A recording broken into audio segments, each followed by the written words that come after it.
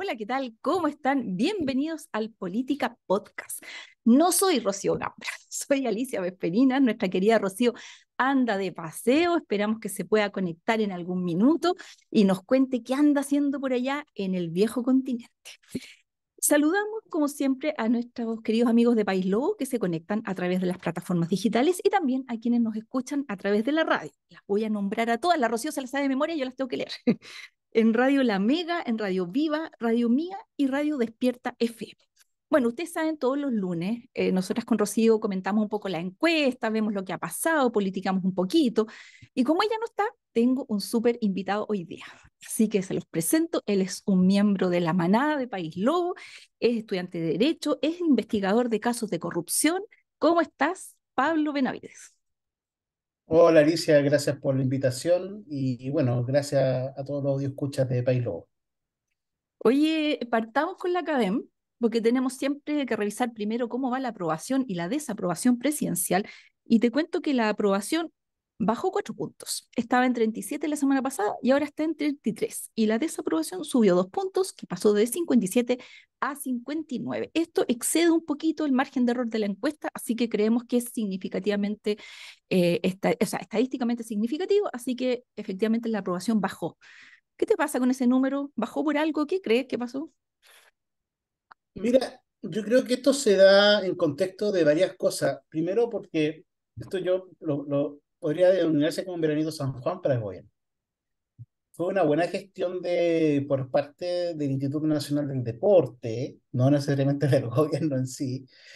Eh, Harold Mike Nichols eh, y el presidente del Comité Olímpico de Chile dieron adelante una, una excelente gestión con respecto a los panamericanos. Mucho, yo creía principalmente que no iban a estar eh, muchos de los edificios o instalaciones listas para los panamericanos. De hecho, se hicieron eh, trabajo hasta los últimos días previos, pero aún pese a eso, de hecho, vieron varias anécdotas con respecto a la vivienda donde estaban quedándose los, deportistas. Eh, pero aún así fue una linda ceremonia, fue una, una transmisión, contaron con todos los equipos técnicos, fue, fue realmente bonita, pero una semana después nos damos cuenta de que ese veranito se acabó y que el gobierno vuelve a caer en su aprobación porque las cosas que le importan a la ciudadanía no se están haciendo bien. Es tan simple como eso y sigue subiendo la sensación de inseguridad justamente con los últimos hechos de eh, delincuencia hemos visto, eh, qué sé yo, secuestro, asesinato a plena luz del día. Eh, la economía no va, sigue aumentando la inflación el desempleo, em, la sensación de que no hay esperanza. O sea, hay, encuestas que vienen, eh, ¿cuánta esperanza tiene usted en el futuro de Chile? Y muchos dicen, eh, no, vamos peor. Entonces, eh, esa sensación de pesimismo que se instaló, yo vendría diciendo, después del plebiscito constitucional de salida del año pasado, se instaló y el gobierno no ha sabido revertir la fórmula y no hemos repuntado. Lo que tú dices es muy cierto, Pablo, si es que nos vamos a la lámina 25, en donde hay una evaluación de la imagen de ciertas autoridades. ¿ah? Eh, y efectivamente, los mejores evaluados son Harold May Nichols y Neven Illich, que recordemos que era el que estaba a cargo de la organización de los Juegos Panamericanos. Y está cerrando esta lista de aprobación Pablo Milar. Así que está absolutamente teñido con el tema panamericano yo te cuento que yo estuve allá en los Panamericanos y tuve la posibilidad de ir a muchos estadios y, vivir el ambiente y estar ahí y sabéis que lo que se percibía era, era como un Chile paralelo, de verdad, era como súper buena onda todo adentro, la gente súper respetuosa, era un agrado estar adentro. Y ahí es donde uno se cuestiona si efectivamente... Eh, las informaciones, la televisión, el clima político nos distorsiona un poco lo que lo que es, no sé, un, Chile más bien promedio, eh, y nos tienen en un permanente clima de enfrentamiento también. Yo creo que pasa un poco eso también, fíjate, porque no puede cambiar tanto el país en dos semanas, dos semanas, entonces como que esa buena onda y todo, como que se apagó y volvimos a lo que éramos. Entonces, no sé, yo ahí siento que algo nos pasa, algo nos pasa que hay como una mala onda instalada en todos nosotros. Mira, no un fenómeno únicamente chileno, lo, vemos a la otra lado de la cordillera, se están dando las elecciones, de hecho en este momento eh, mientras estamos grabando este, este capítulo, se está dando el último debate preelecciones entre Javier Milei y Sergio Massa en Argentina.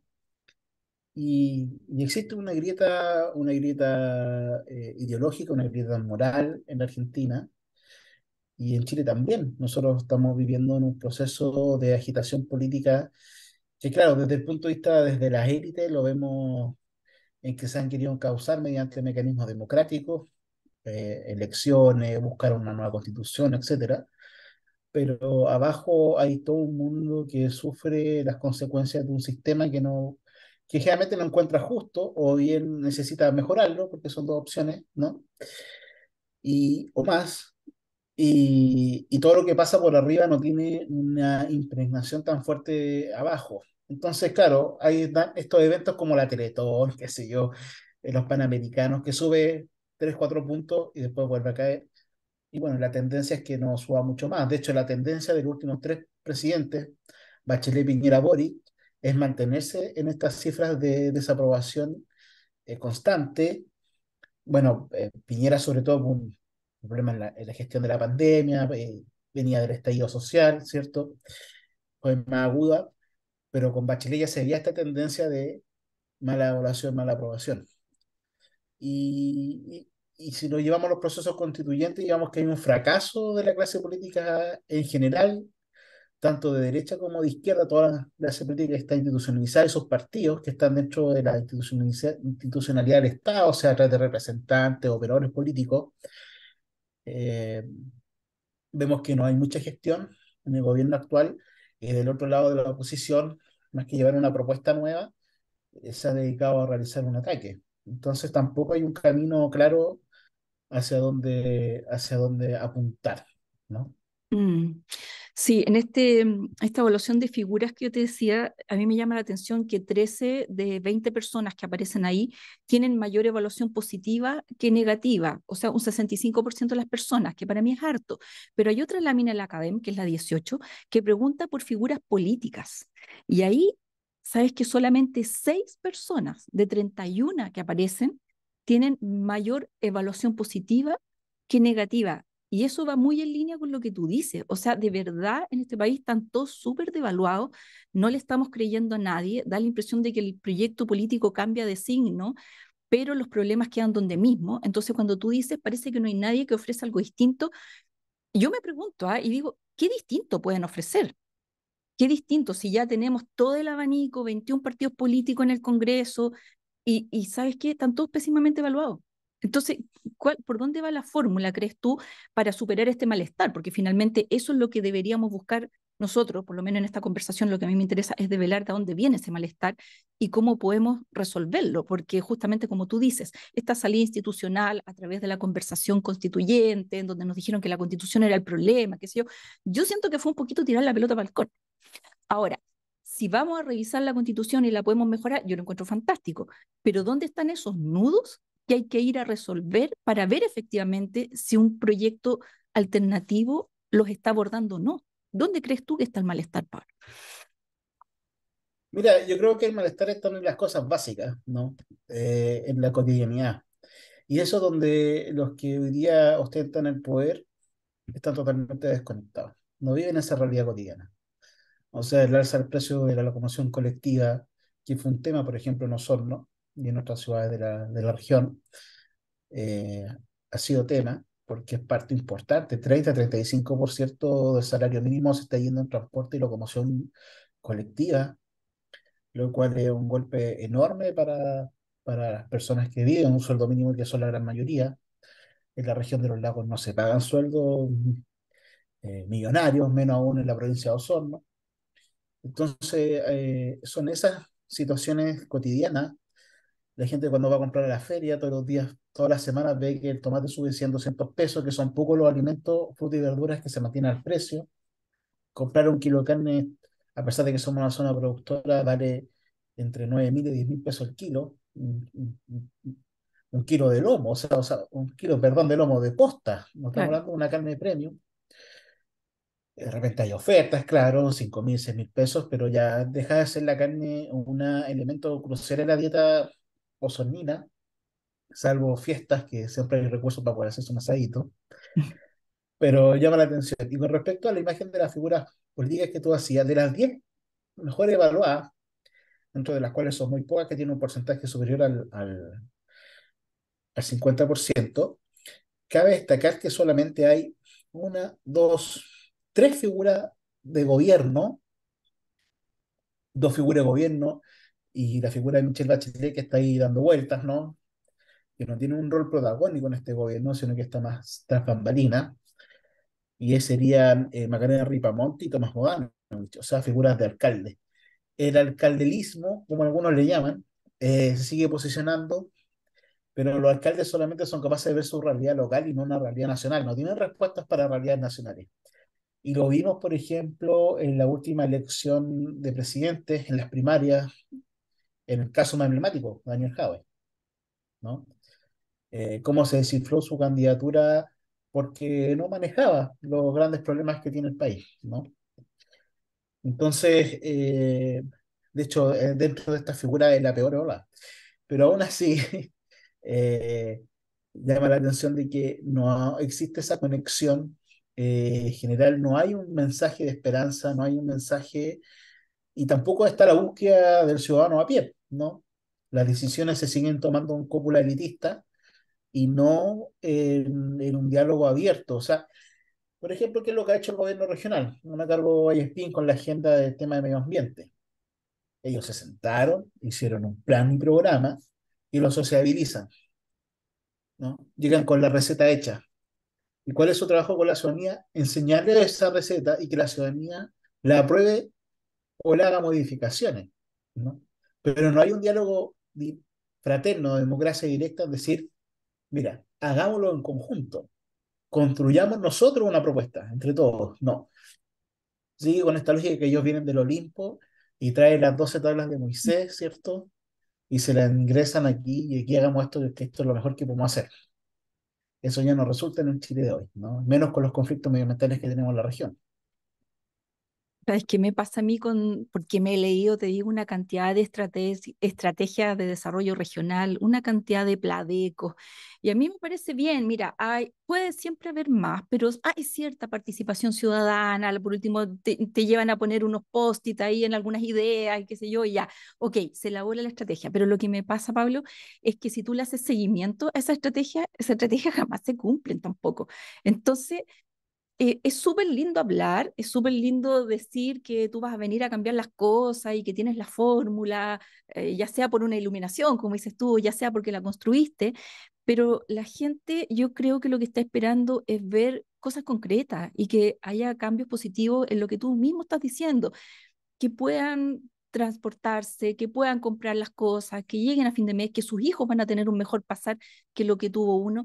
Y te digo que hay un tema que por lo menos a mí me preocupa muchísimo, que es el tema del acceso a la vivienda, en donde eh, se ha puesto la vivienda en este momento inalcanzable, inalcanzable y no tanto para los estratos bajos, ¿ah? porque veíamos una presentación de números la semana pasada en donde la política habitacional para los estratos bajos, bajos, está dando resultados pero son los estratos medios los que están quedando fuera del acceso a la vivienda. Entonces, cuando tú tienes justamente, como tú dices, esa desconexión de las autoridades con la realidad de las cosas que están pasando, la gente le entra la bronca, pues y dice, ¿sabes que yo ya no quiero más palabras bonitas, ya no quiero más papeles con estrategia, ya no quiero más fórmulas, quiero que empiecen a pasar esas cosas.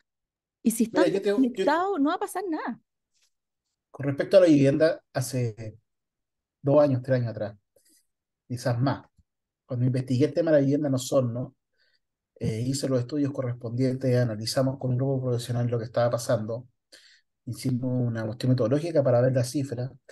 Nosotros hace tres años atrás ya proyectábamos que se iban a necesitar al futuro cerca de 8.000 mm. La Cámara Chilena de Construcción hace poquito dijo que iban a ser 9.000 soluciones que ya se necesitan hoy. Sí. ¿no?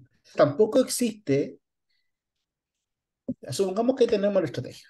Tampoco existe el trabajo de anteponerse a una problemática. ¿no? Tú decías, claro, en las clases bajas o en las clases más rezagadas se necesita eh, vivienda social, etc. La pregunta es la siguiente. Yo a esa persona le entrego la vivienda. Esa persona sale de la línea de la pobreza en términos nominales, de acuerdo a la encuesta de línea, porque la última encuesta decíamos que nosotros ah, ah, no había pobreza en Chile prácticamente una encuesta totalmente amañada con cifras que incluía eh, la entrega de los bonos de la F, la entrega de los dineros de la AFP y los bonos que se entregaron por parte del Estado, que eran eh, los IFE y los IFE laborales. ¿no? Entonces, totalmente inflado. Nosotros sacamos una pobreza, pero esa persona, ¿cierto? Ese grupo familiar no sale de la pobreza. No. No sale. Y si uno hiciera el estudio longitudinal, o sea, a través del tiempo, tú ves que esa persona su calidad de vida, de acuerdo a cómo va la economía, va bajando. Muchas personas hoy día, ya hace 10, 15 años, se le otorgó vivienda social, después de cumplir con, el, con lo que establece una cantidad de años, van y vuelven a vivienda llegado donde los padres otros familiares y arriendan su domicilio para poder tener un recurso adicional. Porque el costo de la vida está muy alto.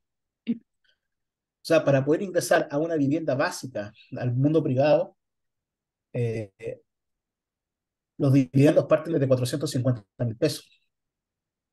Por lo tanto, una persona, un grupo familiar donde trabaja una única persona, el hombre o la mujer, o como sea, como hoy día se, se constituye la familia, eh, eh, no da. No da para poder vivir, no da ni siquiera para comprar la canasta familiar básica. ¿no? Entonces, esos son los problemas de fondo. Cuando se dio, por ejemplo, el problema de eh, la construcción del predio Baquedano, donde se podían construir una cantidad enorme de viviendas sociales, eh, obviamente que había que resguardar los humedales, ¿no? porque son parte integral, importante de, eh, de, la ciudad, ¿cierto? Y generan una mejora bastante en cuanto a calidad de vida, porque descontaminan, etcétera, los animalitos, etcétera, ¿no? Bueno, más allá de eso, se propuse, ¿no? Se propuso, no solamente yo, sino que con otros profesionales, poder construir no solamente viviendas individuales, sino que construir complejos habitacionales integrales como se construyeron en los 60, los 70 en Chile, que fueron un boom, y se hicieron no solamente en Chile, sino que en Europa, etcétera, en otros países, y que nosotros proponíamos en esa época que tuvieran sala cuna, que tuvieran eh, eh, servicios básicos como una panadería, una frutería, una verdurería, donde también pudieran trabajar los mismos habitantes del, del complejo habitacional que cuenten con un sistema de áreas verdes, etc.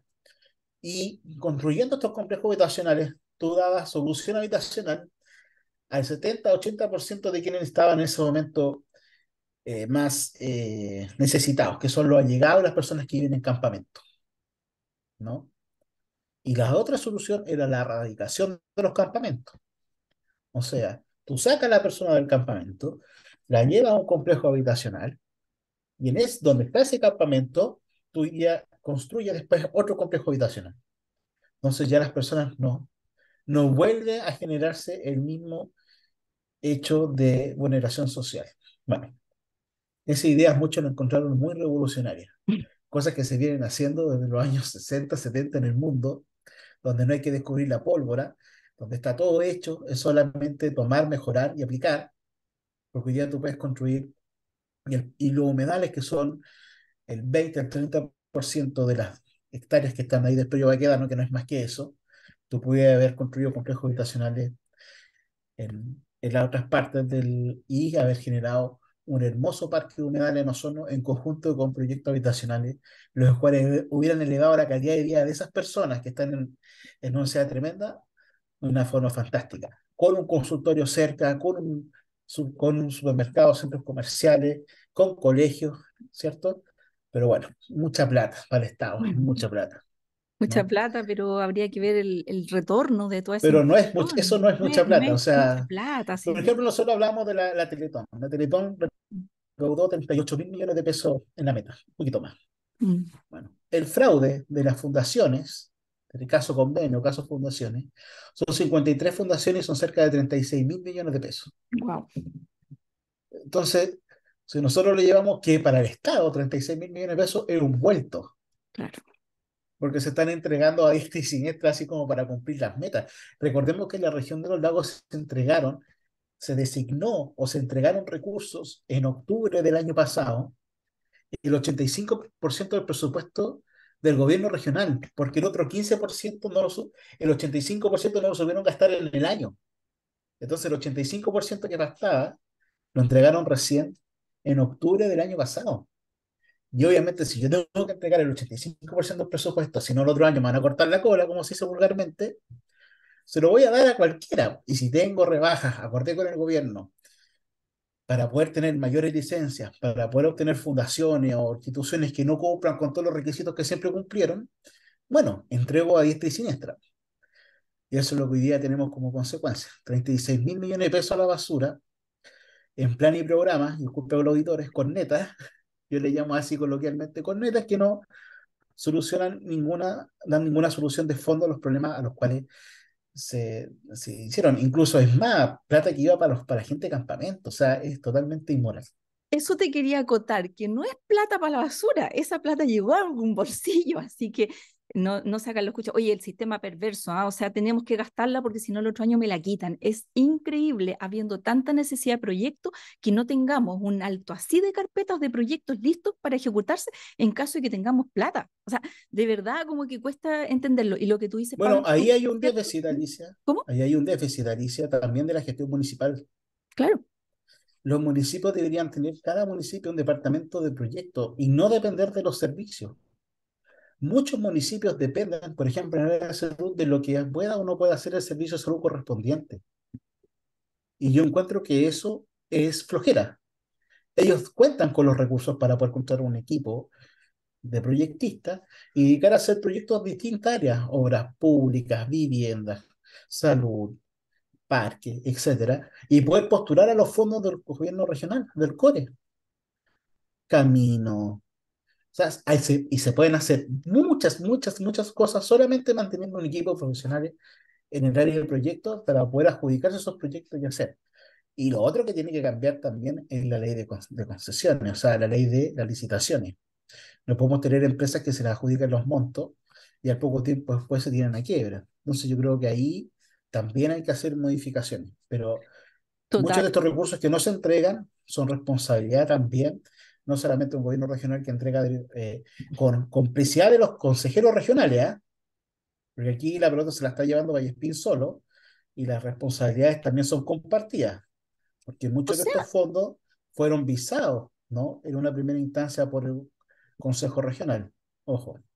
O sea, sin, sin entrar a, cuestionar la buena fe, yo creo que ellos todos se pusieron de acuerdo y dijeron, oye, si no, los vamos a perder, o sea, ¿qué hacemos? Y empezaron, yo creo que con conciencia todo el mundo.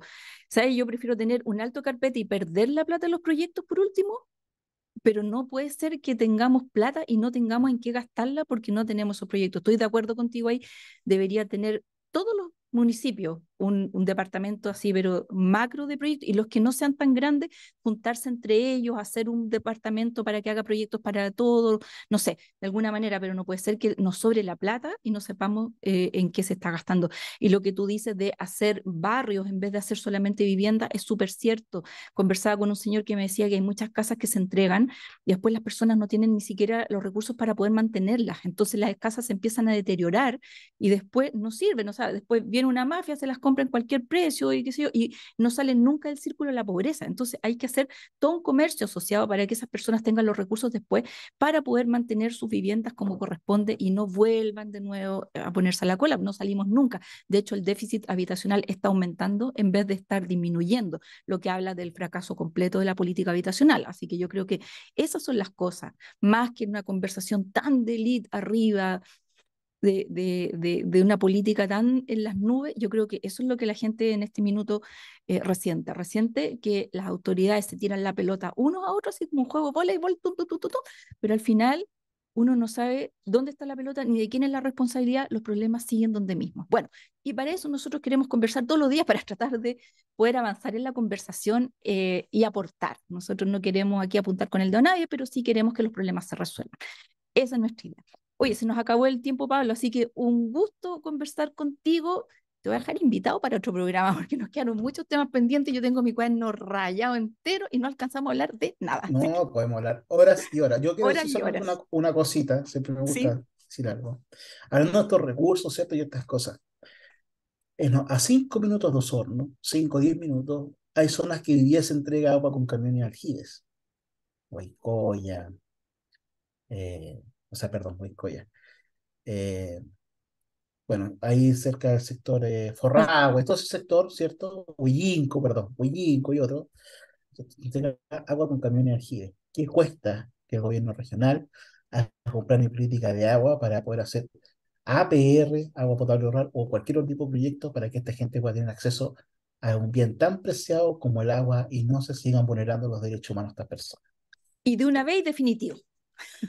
Así es. Oye, ya. Muchas gracias entonces a todos los que nos acompañaron en esta conversación y los dejamos invitados para mañana, que tampoco va a estar Rocío, pero tenemos súper invitados, así que los esperamos. Chao, chao.